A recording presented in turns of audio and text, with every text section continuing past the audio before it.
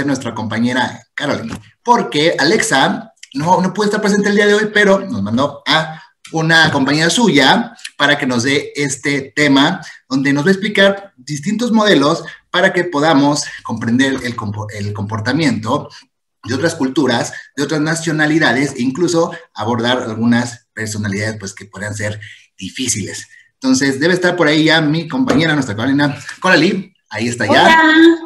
Hola, hola buenas tardes a todos. Hola, hola, también francesa, igual que Alexa. Entonces, muchas gracias por estar aquí, Carly, este, por, por este, aceptar la invitación un poquito este, imprevisto, pero bueno, muchísimas gracias por estar aquí con nosotros. Este, te veo bien, te escucho bien, creo que tú también a mí, ¿verdad? Sí, perfecto, todo bien. Perfectísimo. Bueno, pues sin más preámbulo, te voy a dar ya el control de, del, del pues, el audio, video, etcétera, para que compartas tu presentación.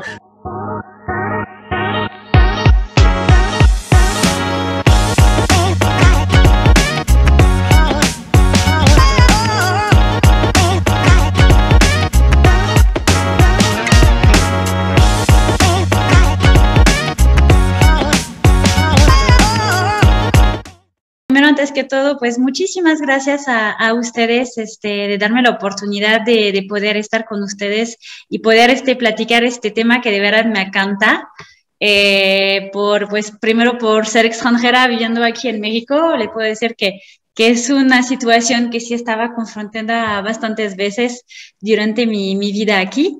Entonces, como lo platico Francisco, pues estoy parte también de French Dot Consulting, estoy platicando, trabajando con, con Alejandra, somos socia entonces de esta consultoría, entonces ya creo que ella le platico un poquito más en detalle de, de, de lo que hacemos.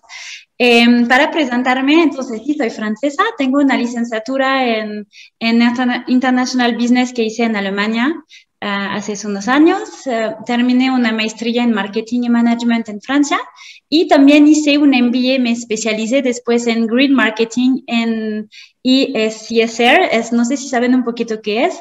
El green marketing, pues son todo el desarrollo de los productos, pues este, amable con el medio ambiente. Y la CSR es como la Corporate Social Responsibility, la, la responsabilidad societal de las empresas. Em, hice una certificación internacional de coaching como Alex y ahorita entonces tenemos nuestra, nuestra consultoría entonces para desarrollar proyectos y ayudar a las empresas este, en sus proyectos de desarrollo profesional o personal. Entonces, para ir directamente en el tema, em, hoy entonces vamos a platicar del management intercultural. Eh, es un tema bastante que escuchamos varias veces hoy en, día porque es muy de actualización por lo que estamos viviendo hoy en día. Entonces vamos a platicar un poquito de la importancia eh, del management intercultural. Vamos a ver dos modelos, dos teorías eh, que nos explican un poquito mejor cómo podemos este, categorizar cada, cada este, cultura y cómo trabajar entonces con ellos. Es muy importante, me imagino que cada quien tuve ya una experiencia donde tenían que trabajar con otras este, culturas y es importante entonces considerar unos de esos temas. Vamos a platicarlo con varios ejemplos. Y al final vamos a platicar un poquito de cuáles son las calidades que podemos desarrollar a partir de mañana unas cualidades que ustedes pueden desarrollar para ya estar este, un líder así intercultural. ¿Ok?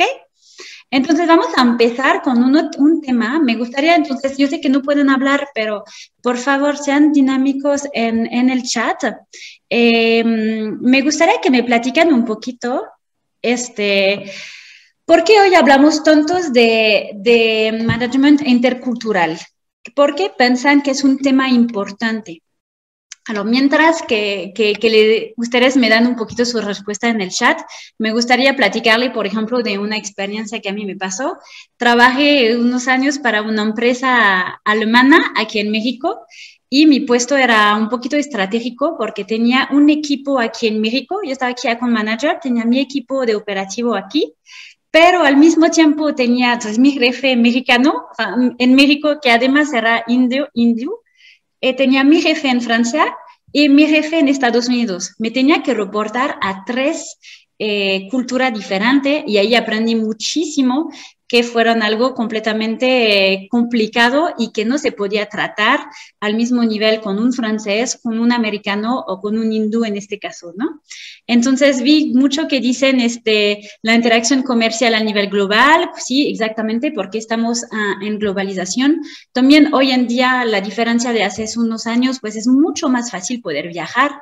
El movimiento entre personas, el flujo de personas es mucho más fuerte. Entonces tenemos este intercambio de gente que pueden vivir a otros países. Me imagino que al momento de nuestros papás estaba tal vez un poquito más complicado de ir a vivir en otros países, ¿no? Hoy es de, muy de moda y, por ejemplo, empezó mucho con la educación también, que las universidades empezó a hacer intercambios. Em, entonces, desde que empezamos a estudiar, estamos este, confrontando pues a estar con otras personas de otra cultura. Y siento que para mí es una súper suerte, ¿no? Es realmente algo que aprecio muchísimo. Entonces... Espera. Antes de continuar con nuestra masterclass, ¿por qué no nos dejas aquí abajito un comentario para que nos platiques qué temas te interesan sobre ventas por internet para que podamos crear una clase exclusiva sobre ello? No olvides que aquí en Digital Academy estamos para ayudarte y nos encanta crear contenido para que tu negocio le vaya mucho mejor. Y ya que andas por aquí, ¿por qué no regalas un like o te suscribes a nuestras redes sociales? Continuemos con la clase. Entonces, platícanme un poquito si le han pasado una una experiencia. No sé si ustedes en sus negocios trabajan con extranjero en su equipo, no sé si a veces trabajan en una empresa extranjera, pues puede ser que su manager es de otra, de otra empresa, van de otra cultura, perdón. sus proveedores, sus clientes también pueden venir de Estados Unidos, por ejemplo, eh, o si tienen amigos o si les han pasado eh, durante un caso que fueron al extranjero. Eh, que tuvieron una situación o que sintieron este, esta diferencia cultural. No sé si, si alguien tiene un poquito un ejemplo ahí, si les ha pasado este, este caso, o si, por ejemplo, alguien trabaja en una empresa extranjera. Nadie, nadie está, todos están con puros mexicanos. no tienen la suerte de, de poder conocer otra, otra cultura. A ver, Enrique, ¿tú no, no trabajas con nadie del extranjero? Ok, ok. Bueno, les voy a dar un poquito más de ejemplo. Yo tengo miles de ejemplos en este caso, pero por ejemplo, em, platicamos mucho de la diferencia. Yo sé que aquí, por ejemplo, tenemos muchas inversiones. También es importante de considerar que México es un país que atrae mucho las inversiones del extranjero. Entonces, pues hay muchas empresas francesas, alemanas, americanas, canadienses, dependiendo de, de cuál sector. Y, por ejemplo, es muy importante considerar, no sé si le ha pasado, por ejemplo, también de, tratar con, con unos este, japoneses, todavía es, es todavía más diferente que, que, los mexicanos, pero por ejemplo tenemos este Allies Contact, ¿no? Siempre decimos, para nosotros, las culturas, es muy importante ver a alguien en los ojos cuando estamos hablando a alguien, ¿no? Damos transparidad, es muy honesto, así damos mucho más, ¿no? Y, mm, y entonces, por ejemplo, en el caso de Asia, eh, es un insulto. No tienen que ver, por ejemplo, su cliente, su proveedor uh, o su coworker en los ojos, porque sí lo pueden interpretar muy mal. También hay, hay una manera, y ustedes, yo lo estoy viendo mucho en México, de la direct communication, ¿sabes? Cuando dices algo muy directo. Por ejemplo, nosotros en Francia tenemos dirección, la costumbre de ser muy directo. Y hay culturas que no les gusta. Por ejemplo, en Japón no se puede decir no. Cuando alguien pregunta algo, es muy mal visto decir no. Entonces, este, esos tipos de, de pequeños este, códigos que es importante saber, por ejemplo, también en Arabia, si quieren hacer un, business con alguien que viene de ahí, es muy importante tener el contacto un poquito, la conexión personal, ¿no? Ahí se va más, es más un poquito como México de, ah, cómo va la familia, y es importante presentar este, este aspecto de nosotros mismos para poder cerrar un negocio también, por ejemplo, hay el tema de tocar, tocar la gente. Yo llegando en México la primera vez y mis amigos, mis amigas haciéndome un abrazo, eh, fue muy, muy raro para mí. Es muy raro para la mayoría de extranjeros. Ahorita es algo que me acostumbré, pero, por ejemplo, cuando yo regreso en Francia a ver a mi familia y que les tomo en mi brazo, están ahí como pero ¿por qué? ¿Qué estás haciendo? ¿No? Porque no estamos acostumbrados. Hay otros países que no se puede tocar. Por ejemplo, en Asia es muy mal visto tocar la cabeza de alguien, ¿no? Eh, y por ejemplo, último, último ejemplo que tengo que es muy culturalmente, eso es, este, es otro nivel. Em, es, por ejemplo, el tema de eruptar. Por ejemplo, mi abuelita vivió muchos años en, en Marruecos y este, me acuerdo que me dijo que cuando ella estaba ahí, la gente erupta después de comer, porque significa que comieron bien. Imagínense que están haciendo eso en Estados Unidos, haciendo una junta o una cena con cliente y pueden eruptar en público. Se puede interpretar muy mal cuando para ellos es algo que no está tan mal visto. Entonces, este, esos son unos de los ejemplos que es importante poder tener en, en, cuenta, ¿no? Luego vi unos eh, comentarios de unos que trabajo con, con, proveedores furios. Eso nunca me ha tocado. Luego sería interesante que nos platica un poquito la experiencia. Um, con españoles, ah, viviste en España. Eh, wow, en muchos lugares, ok, entonces ahí también me imagino que estás acostumbrando, um, Amparo, a poder este, conocer diferentes culturas. Entonces, para seguir un poquito, eh, les quería platicar. ¿Por qué no avanza? Entonces, platicamos de por qué es tan importante hoy en el tema de negocio. Como les platiqué, puede ser, este, puede ser que durante una junta, pues tienen este, una necesidad de cerrar un negocio y a este momento, si pasa algo mal, se puede apretar y se puede cerrar el negocio. También en tema de organización de trabajo, no es el mismo trabajar con un francés, con un alemán, con un, este, con alguien de otro país, ¿no? También eso evita los errores debido a la falta de comunicación. Otro ejemplo que le puedo dar, yo llegando en México, mis primeros años no hablaba muy bien español y entré directamente a un puesto de manager. Y me acuerdo que alguien de mi equipo, una de las primeras veces tenía algo muy urgente a hacer. Entonces le dije, oye, pues me urge este, por favor, apóyame con este, bla, bla, bla, bla, bla. Y me dice, sí, sí, a ratito, ¿no? Entonces dije, pa, en una hora ya está terminado, no, no fue gran cosa, entonces regresó una hora después, ah, pues tienes este documento, y me dice, sí, sí, pero a ratito. Yo, bueno, le voy a dar un poquito de tiempo, igual tiene mucho trabajo, ¿no? Eh, después entendí que a ratito es como, pues prácticamente nunca lo vas a tener, ¿no? entonces yo me puse en muchos problemas pensando que a ratito fue pues en un, tiempito corto, ¿no? Eh, y conociendo un poquito más la situación, en este caso esta persona, yo sé que a veces no son todos, pero en este caso esta persona me decía, me estaba mandando al avión, ¿no? Al final de decir, sí, sí, sí, este, regresa más tarde, cuando tengo tiempo, hago lo que tú quieras, ¿no? Entonces, este, esos tipos de cosas que se pueden interpretar de una manera eh, muy diferente. También mucho cuidado con los dedos, también los gestos que hacemos. No se pueden interpretar de cualquier manera. No voy a entrar, hay muchos este, signos que pueden estar muy interpretados de manera muy vulgar en unos países. No les quiero dar un ejemplo, no es apropiado ahorita, pero por ejemplo, a mí me ha pasado y nos pasó muy seguido con los mexicanos que nos dicen, wow, este vino francés está delicioso y nos hacen eso. Para nosotros eso es cero, significa es muy malo, no significa que es bueno. Entonces, por ejemplo, mucho cuidado con los gestos también que pueden hacer, que se pueden interpretar de una manera muy diferente, ¿no? Em, entonces, vamos, les quería preguntar, ah, al final, Estoy viendo al mismo tiempo. Sí, al ratito de ahorita, clásicos de muchos, sí, exactamente. Em, ahorita vamos a platicar de dónde viene al final las diferencias culturales. Al final, ¿cómo ustedes detectan que esta persona viene de otro país? ¿Qué les dice, qué les pone en la pista que esta persona pues viene de otro país? ¿A qué se fijan? Es muy fácil, en general nos fijamos en el físico, en la forma de los ojos, la color de la piel. Em, no sé si hay otras cosas en particular que, que, están, que les dicen que una persona viene de otro país. El lenguaje, por ejemplo.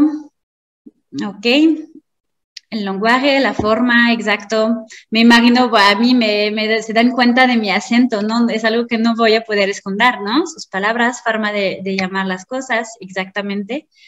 Exacto. Entonces, ahí les voy a presentar una teoría que a mí me gusta mucho, es como la teoría del iceberg. No sé si lo habían escuchado, pero al final una persona es como un iceberg. Solo se puede ver al final la punta arriba, que es como va su vestir, su manera de vestirse, es su manera de hablar, el aspecto físico, ¿no? Pero hay una grande parte este, que están abajo, ¿no? Del iceberg. Y ahí es, este, todas sus creencias, todos sus valores, eh, sus preferencias, las emociones, um, todo, todas muchas cosas. Al final ahí les, les puse esos ejemplos para que se den cuenta, pero son mucho más información que no se puede detectar inmediatamente cuando conocemos a alguien. Es por eso que la primera vez que conocemos a alguien hay que hacer mucho cuidado, ¿no? Y en el tema de, de negocio todavía más. Eh, ok, ahorita ya tenemos Amparo que dice, mi amiga están en un proyecto con personal de Oriente y allá no son besucones y saludar ni se abrazan, exacto, exacto. Entonces, por ejemplo, ahí también es mucho cuidado, porque si ven a alguien, su cliente, su proveedor, ah, hola, y lo toman en los brazos, se pueden apretar de una manera muy delicada. Ahorita vamos a entrar en el tema, les voy a compartir un poquito más eh, las teorías que están alrededor, porque es algo bastante complicado poder este, calificar y categorizar gente en función de su, de su, de su pertenencia cultural, ¿no? Entonces tenemos una dimensión cultural de un este, profesor que se llama Hofstede, que creo que si no me equivoco viene de Holanda, entonces que, que y después de identificar mucho los comportamientos, los comportamientos de la gente de los diferentes países, empezó a hacer grandes categorías. En función de esas categorías, después se puede hacer unas acciones en management. No iré tanto en este detalle porque es algo que toma mucho tiempo más. Ahí es una introducción, pero es este para poder más entrar en detalle de cómo manejar, negociar con esos tipos de gente. Entonces, les voy a presentar las diferentes este, categorías que teníamos que, que este Hofstede pues estableció, ¿no? Y qué significa, y unos ejemplos, ¿no? Entonces, primero, en el nivel del trabajo tenemos la distancia jerarquía.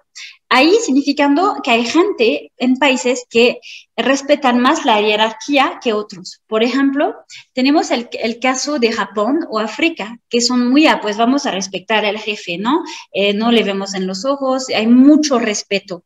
Y cuando vamos al inverso, de mm, jerarquía que son más igualitaria, que son más, este, pues hay el manager, el submanager, el líder, el líder y todo esto, es un organigrama que son más planos, significando que todos están en el mismo nivel. Eh, por ejemplo, ahí es mucho en Holanda o en los países eh, nórdicos de Europa, por ejemplo, tienen más tendencia a tener esos tipos de jerarquía. Después tenemos la, la categoría del individuismo. Hay, mucho categoría, hay muchos países que son más individualistas que otros. Por ejemplo, en Estados Unidos, pues es una mentalidad más eh, individualista, cuando al final, este, en el caso de, por ejemplo, Guatemala o Indonesia, ahí es prioritario en el grupo primero, ¿no? Pensamos en la comunidad antes de sí mismo. Después tenemos el tema de la masculinidad, masculinidad y feminidad. Hay culturas que son más masculinas que otros. Eh, pues los más conocidos, eh, Japón, Japón es, por ejemplo, este, es muy difícil para una mujer japonesa llegar a un puesto de manager, ¿no? Porque pues tienen la idea todavía que ahí eh, la importancia es ser hombre y solo los hombres tienen accesos a ese puesto. Tenemos también en el caso de Italia y México, como que es conocido también por este tipo de energía, por este tipo de, conducta en el nivel del trabajo. Em, esos tipos de cultura tienen más tendencia a ser más competitiva entre ellas mismas. Para tener tanta energía masculina, al final hay más competición. Y al contrario, unos ejemplos de una cultura más feminista que, por ejemplo, son Sueca, Dinamarca, que sabemos que hay mucho más mujer que ahorita están, por ejemplo, manejando sus empresas. Allí eh, la prioridad que se siente es el bienestar de todos. Eh, que todos están a gusto. No es tanto la, la productividad que tiene que funcionar, es que todos la tienen que pasar bien y estar a gusto donde están. Después tienen la aversión a la incertidumbre. hay culturas que aceptan más la incertidumbre que otros. Hay otros que tienen tendencia a planear un poquito más y se vale, ¿no? Por ejemplo, eh, Japón y Rusia tienen tendencia a ser muy, muy aplicado en planning, a seguir para evitar unos riesgos del exterior. Y al contrario, tienen como Jamaica uh, sí, Jamaica, ¿no? Sí, creo que, no, Jamaica, Jamaica, eh, ya voy a decir Jamaica como la, la bebida, no, Jamaica o Singapur, por ejemplo, que son mucho más flexibles y tolerante referente a este tema y menos inquietos referente a, lo que, a la incertidumbre. Después tenemos la particularidad de la orientación a largo plazo. Ahí confrontamos un poquito las culturas, es un poquito más complicado a ver, pero confrontamos un poquito más las culturas que son nacionalistas y las otras que son más tradicionalistas. Por ejemplo, hay países que son más este, a tendencia a orar, a, protección, a, dar protección a su país. Por ejemplo, Corea es mucho así, ¿no? Tuvieron una crisis y no sé si sabían, pero durante la crisis de Corea, cada persona dio de su dinero personal para salir del país del, de, de los problemas que tenían, ¿no?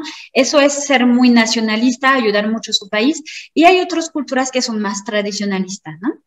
Y después el último punto, la endurancia o la contención. Ahí platicamos un poquito para hacerlo más sencillo. Hablamos de las culturas más optimistas y positivas contra las culturas más em, negativas y este, pesimistas. Ahí son las diferencias entre los dos. Ok, entonces, esa fue una pequeña introducción. Eh, eh, por ejemplo, no sé por qué falta, falta el último. Yo cuando estudié también en la escuela este tema, solo tenía cinco y ahorita que investigamos un poquito más, ya vi que salieron el último, el número seis. Entonces, aquí tienen, por ejemplo, en el caso de Estados Unidos, que vimos que pues la distancia al poder, que es como el reporte con su jefe, pues está bastante alto pero el, individualismo es muy, muy alto. Por ejemplo, es muy normal que ellos piensen por ellos mismos antes del grupo, ¿no? Es algo en su cultura. No está bien, no está mal, es algo en su cultura, ellos se educaron así. También el tema de la masculinidad está más, bastante alta, ¿no? De que es más difícil para unas mujeres llegar en puestos claves en las empresas hay más competiciones también. Ah, la certidumbre referente al futuro, también eso tienen tendencia a planear y también la orientación a largo plazo, ahí pues no está tan, tan elevado, pero está todavía presente. ¿Ok? Entonces ahí les presento un ejemplo de cómo se puede categorizar unos países referentes a sus criterios. Solo verifico el tiempo para que no me esté pasando. Entonces tenemos después una otra teoría que está un poquito similar, es por eso que no quiero tampoco atardarme tanto, si es algo después que les interesa, con mucho gusto pueden escribirme y lo podemos platicar más en detalle. Pero Tom Prenard también es un chico de, esta, de mm, Holanda, también hizo unas este, categorías así.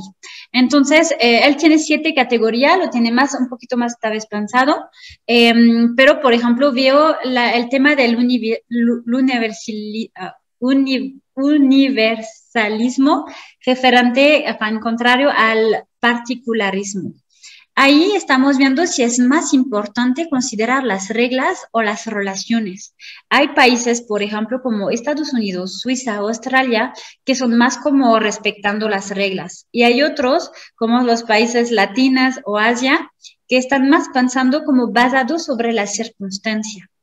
Después tenemos el punto 2, que es el individualismo o el comunitarismo. Ya vemos la misma idea que, que dio Hofstadter, pero ahí, por ejemplo, pues sabemos que Estados Unidos, Nueva Zelanda o Israel son más culturas más em, individualistas y Japón, Egipto, México es más considerado como comunitario, ¿no?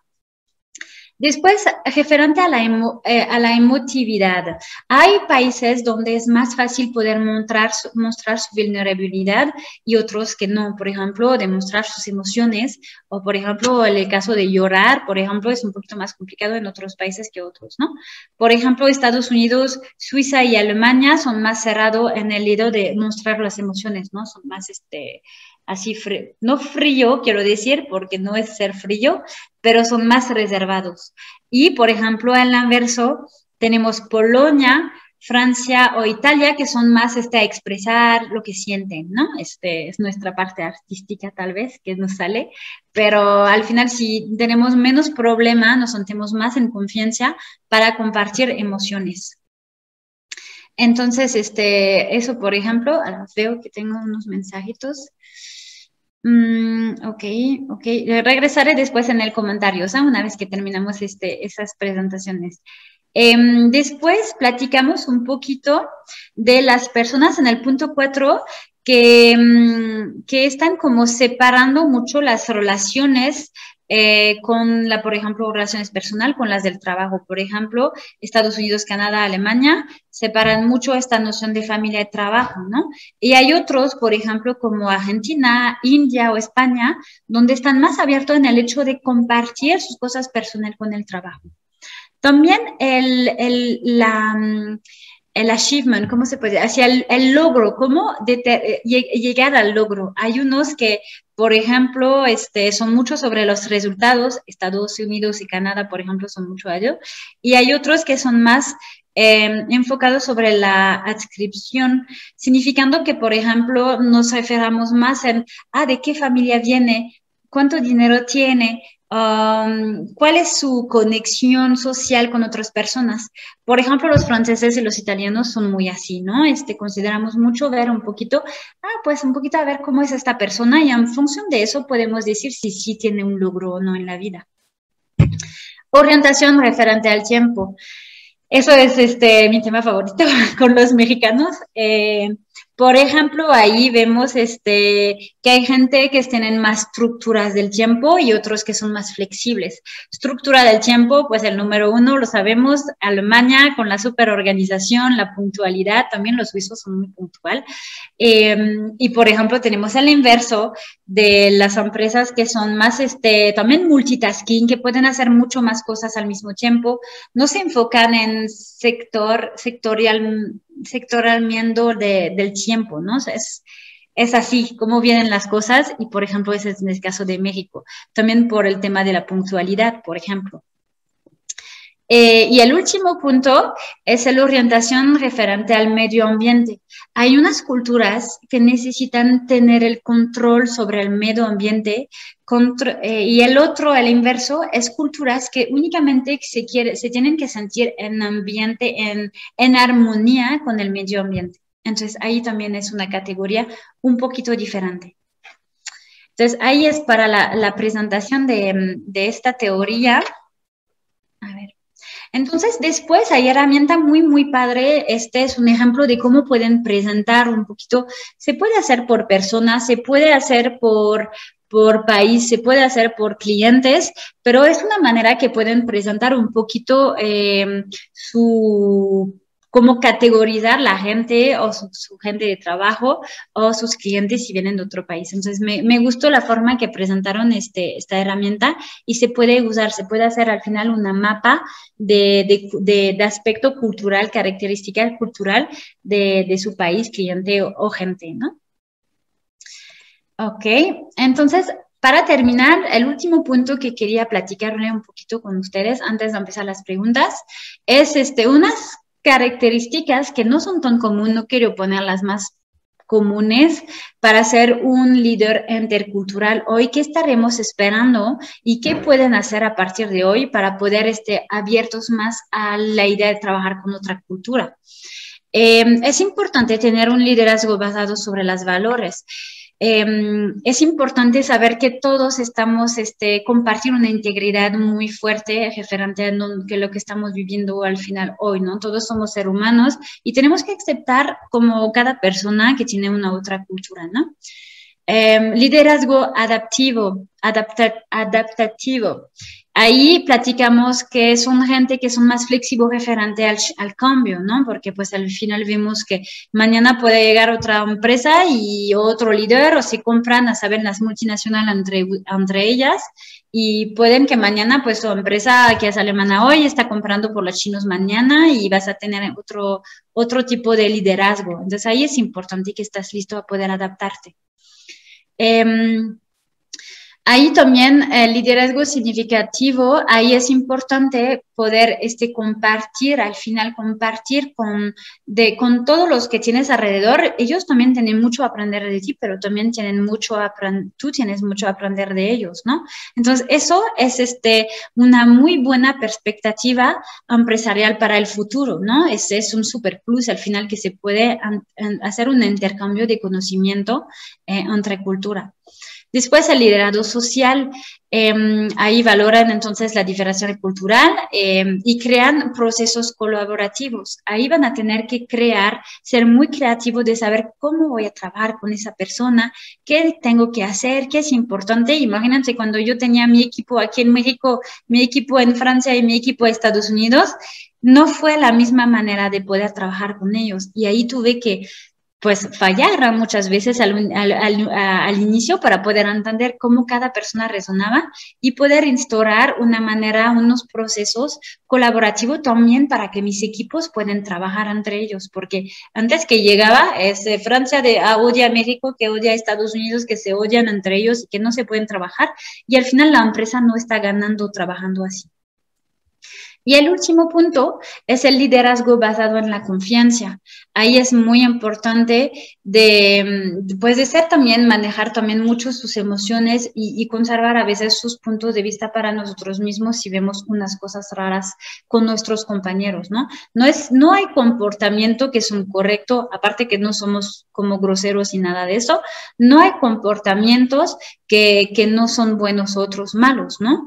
Eh, por ejemplo, para mí es muy importante la puntualidad, eh, lo tomo, al inicio lo tomé muy personal cuando la gente no llegaba a tiempo y ahorita entendí que pues en México no es tanto big deal, ¿no? Este no es un insulto realmente en sí, entonces es poder abrirse y un, poquito más entender, ser consciente que los otros pueden tener otros tipos de percepción y, y maneras de hacer, ¿no? Entonces, ya para ahorita es todo lo que les quería platicar no me quería pasar demasiado del tiempo. Eh, no sé si alguien tiene una pregunta, voy a abrir el chat. Em, entonces, este, por ejemplo, Verónica no estaba compartiendo que su esposo trabajaba en Bélgica unos meses y que ellos son muy respetuosos de los horarios de salida. Eso sí, es un ejemplo. Yo también en mi empresa salía yo a las 5 en punto, mi trabajo era terminado y todos me veían y tenía hasta la mala idea de, ¡Ah! Pero trabaja mal, está mal, ¿no? Y no, es muy importante. Yo tengo que respetar mi, tiempo personal y me organizo mucho para poder salir a la hora, pero estoy prácticamente mal visto de hacer esto en México, ¿no? Entonces eso también es algo muy interesante. Y sí, los americanos se quedaban, exacto, Verónica, eso es exactamente un muy buen ejemplo. Em, ok, entonces Eduardo, que nos dice tema muy interesante, que el cooperativismo no en muchos lugares se da exactamente también. Eh, Amparo, que nos dice si tiempo de equipo de diferentes países recomiendan desde el principio poner reglas. Si tiempo, esto, no sé si es una pregunta, si tiempo de un equipo de diferentes países recomiendas desde el principio, ok. Ok, es una pregunta. Ahora déjame tratar de entenderla. No, no te preocupes. Eh, sí es importante poner reglas con, al inicio cuando empezamos a hacer un trabajo en equipo con gente de otros países. Me imagino que esta vez esa es tu cuestión, tu pregunta. Eh, yo creo que sí, eh, puede ser una muy buena idea cuando empezamos a trabajar en equipo. Primero, este, pues hay un, un, un tiempo donde necesitamos acostumbrarnos, conocernos. No podemos llegar porque al inicio hay culturas que van a abrirse un poquito menos que otros y los que se van a abrir más van a imponer un poquito más sus direcciones a los que son un poquito más reservadas. Entonces, yo creo que la estrategia, si trabajamos con gente de otros países, es darles tiempo hacer dinámicas para que la gente se conocen. Em, muy importante, lo que funciona muy bien es desarrollar proyectos eh, en común con personas para que al final todos estén involucrados en los proyectos. Y una vez que tiene un poquito más de confianza, pues proponer al final este, el tema de decir, pues entonces hay unas reglas, cómo piensan eso, cómo ven eso, y que cada persona, además es muy importante que cada persona se tiene que expresar y expresar su punto de vista en esos temas. Espero que pude contestar a tu, a tu, a tu, a tu pregunta. No sé si alguien más tiene unas preguntas o unos temas, una experiencia que nos quería compartir. ¿Sí, me, em, ¿Sí me escuchó? Sí, adelante. me tuve que parar la computadora, ya no voy a regresar a la computadora, pero pues ahorita invitarlos a que dejen alguna pregunta o una experiencia. Yo en particular me acuerdo de dos. A ver. Este, antes yo tenía boutiques, tiendas de ropa en mi ciudad. Me acuerdo que una vez llegó una persona, un hindú.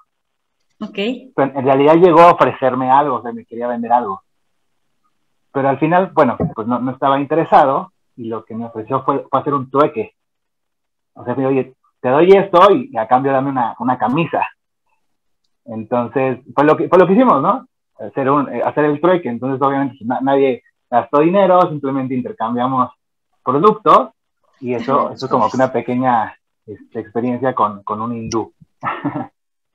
comentaba hace ratito que tenía proveedores judíos.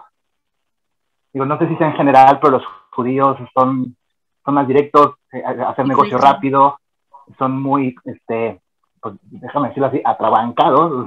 no sé cómo. performance, performance. Exacto, rápido, no es el tiempo, cuánto va, cuánto va a costar, cuánto voy a ganar, ok, pásale rápido, todo rápido. Aparte, pues vivían en el DF y en, la Ciudad de México, pues el ritmo de vida es mucho más rápido, por ejemplo, que Querétaro. Entonces, digo, son dos experiencias este, pues, que, que, me acuerdo mucho, ¿no? Con, con otras personas. A mí me gustaría preguntarte, este, Carly, ¿qué, ¿qué, es lo que tú, digamos, eh, es, muy conocido en los mexicanos que la, impuntualidad, ¿no? El famoso ahorita. Pero, ¿qué podrías decir algo, digamos, que, te gusta de, cómo se hacen los negocios en, México? ¿Hay, ah, ¿hay algo bueno? ¿Hay algo bueno? Ay, sí, tantas cosas, si no, no estará aquí. Totalmente, eh, pues primero el, calor de, ¿cómo decir? La calidez de la gente, ¿no? Eh, si ni siquiera ver una sonrisa cada día con la gente, eso vale todo, ¿no? Creo que eso te da tanto en tu corazón. Yo creo que es una cultura muy positiva me, a mí me costó muchísimo también el famoso de mis compañeros que me decían, no, pues me queda 10 pesos antes de la quincena. Yo me decía, ¿cómo es posible? ¿Cómo pueden? Pero ahí aprendí que ustedes viven realmente en el momento y eso está muy bonito. Cosas que a mí, por ejemplo, en mi cultura me enseñaron a ser muy diferente, de decir, no, pues siempre hay que ahorrar, eh, no te puedes permitir irte al restaurante si no ganas suficiente, por ejemplo. Y, y, es algo que aprendí aquí, que al final, ¿para qué ahorrar, no? Pues, tal vez está bien, no estoy diciendo que todos vamos a gastar nuestra quincena hoy, ¿no? Pero me gustó esta idea de decir, de este tema regalado, de decir, no, pues vamos a vivir, vamos a, a disfrutar. Eh, y esta abertura, así, a mí me, me relajó muchísimo porque tenía tendencia, por ejemplo, a, a, privarme de unas cosas que de verdad tenía ganas solo para, para satisfacer mi alma o mi corazón, ¿no? Y, y, no, me lo, no me lo permitía por, por esta idea de tener que orar, ser prudente con el futuro y cosas así, ¿no? Porque los franceses también son muy orador, ¿no? Em, y pues este, también el fácil contacto, también no sé si es por ser extranjera o en este país, pero pues son tan lindos en general con los extranjeros, pero de ir a una fiesta y conocer más gente que mañana, el día después, te invitan a otra fiesta. Em, a mí esta abertura me, me, encanta, ¿no? Es algo que de verdad me, me fascina y, y, siempre poder conocer gente que son tan abierta cuando nosotros somos un poquito más cerrados, ¿no? Es más difícil entrar, por ejemplo, en un círculo de amigos, ¿no? Eh, Amparo nos está compartiendo también que su amiga está buscando proyecto de pernadas, ¿no? Ah, pues no, es el mismo, ¿no? Creo que ahí no los pusiste. Sí, pues sí. Pero sí, por ejemplo, Francisco también por el tema que dijiste del trueque, me, recuerda una historia también. Cuando vamos en los países, este, pues Tunisia y todo esto, eh, no sé si lo hacen de broma ahorita o si es verdad, pero siempre eh, dicen este, en los mercados, ah, ya te cambio tu, decían a mi papá, pero yo creo que todos contan esta historia, entonces no sé si es una leyenda, si lo hacen para, porque es como una leyenda, pero dicen, ah, te cambió tu, tu hija contra tanto se camelo, ¿no? Entonces, este, por ejemplo, sí, en, en, la cultura es muy normal, por ejemplo, de, de, poder intercambiar cosas, ¿no? Es este, no, mi papá se lo vio como un insulto, ¿no? ¿Cómo te voy a vender mi hija contra cinco Sí, claro, claro. Pero para ellos igual, y pues el precio estaba elevado, quién sabe. no sé si alguien más tiene una pregunta, algún comentario. A ver, mientras esperamos si hay alguna pregunta, ¿pudieras poner tu, en tu presentación tus datos, por favor, Cody? Sí, claro. Entonces, ahí como les platiqué varias veces, me imagino que Alejandra les platiqué, les platicó, perdón, eh, nosotros podemos también dar taller adoptados sobre, sobre sus necesidades, sobre esos diferentes temas. Puede ser taller, por ejemplo, de dos horas o puede ser proyectos en seis meses donde hay coaching personal, desarrollos personales de su equipos, ¿no? Entonces, ahí, por ejemplo, tienen el, tipo de, de, temas que podemos abordar con mucho gusto. Les podemos adaptar a referente a su cultura de empresa, también es muy importante. Antes de, ser, de hacer esos programas a las medidas, tomamos realmente el tiempo de poder conocerlos para realmente implicar y empreñarnos de toda su cultura, ¿no? Y para que respetamos mucho sus valores de empresas también. Y aquí entonces les dejo también mi, mi, correo y mi número de teléfono también para cualquier cosa, pues ahí nos pueden, nos podemos estar en contacto con mucho gusto para tema de intercultura, intercultural o de leadership o de coaching o lo que se necesita. Muchísimas gracias a ustedes por la atención. Gracias, gracias, Carly. Gracias por estar aquí. Este, la verdad es que nosotros estamos aquí en Digital Academy muy, muy contentos de, de haberlas conocido, de que formen parte de estos webinars que, que pues, les, damos con mucho cariño a, nuestros alumnos, a las personas que, que, se conectan todos los martes y todos los jueves. Eh, siempre, siempre recomiendo, recomiendo mucho a, a y a Alexa. Son unas excelentes personas y excelentes profesionales, entonces no duden, no duden en contactarlas si quisieran ya un coaching más personal o para sus empresas.